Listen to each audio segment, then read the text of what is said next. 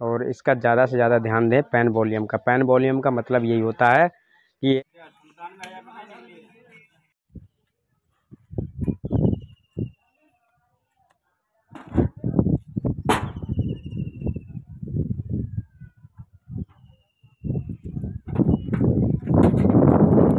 तो दो हॉर्न हमने यहाँ पे बाँध रखे हैं और एक वो सामने लगा है, वो वापसी के लिए है। आवाज़ वापस मारने के लिए कलाकार के तो ये देख सकते हो।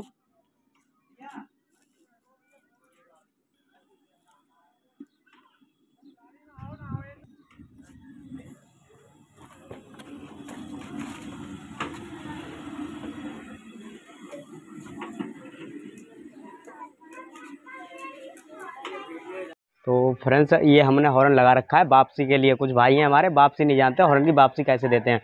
तो ये कलाकार के सामने के लिए आवाज़ देगा।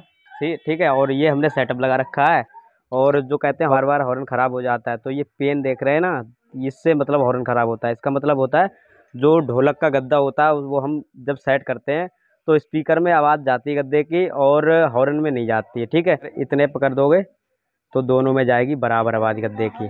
जितनी स्पीकर में जाएगी गद्दे की आवाज़, उतनी जाएगी हॉर्न में। तो आप ये ज़रूर देख लें, और जिधर जिस आउटपुट पर आपने स्पीकर का एम्पलीफायर लगा रखा है, उसी पर उधर को ही कर देंगे, ठीक है? उधर कर सकते हो, जिससे बार बार हमारा मतलब कोई हॉर्न ख़राब ना हो। जो भाई कहते हैं, हॉर्न हॉर्न ख़राब हो जाते हैं, वो ध्यान दें इस चीज़ का। और ये देख सकते हो, सामने दो हॉर्न ये हैं और एक वापसी के लिए हॉर्न लगा रखा है और तीन हॉर्न है इस कैप्सन के एम्पलीफायर पर। 1200 वाट पर हमने दो स्पीकर ये डाल रखे हैं। और दिखाएँगे प्रोग्राम करेंगे। और इसका ज़्यादा से ज़्यादा ध्यान दें पेन वॉल्यूम का। पेन वॉल्यूम का मतलब यही होता है कि ये हॉर्न में गद्दे की आवाज़ नहीं जाने देता है और स्पीकर में ही गद्दे की आवाज़ रहेगी, जो ढोलक का मतलब गद्दा होता है, ताली और गद्दा।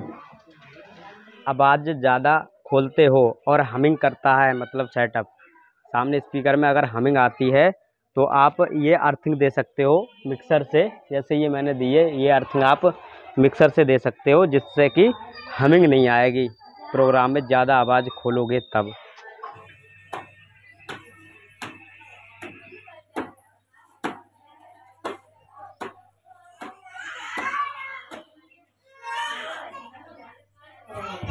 घरचे घरे घरे घरे घरचे घरे घरे घरचे घरे घरे घरचे घरे घरे घरचे घरे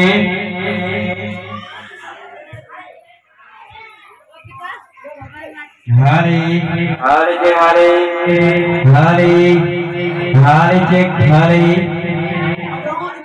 घरे घरे घरे घरचे घरे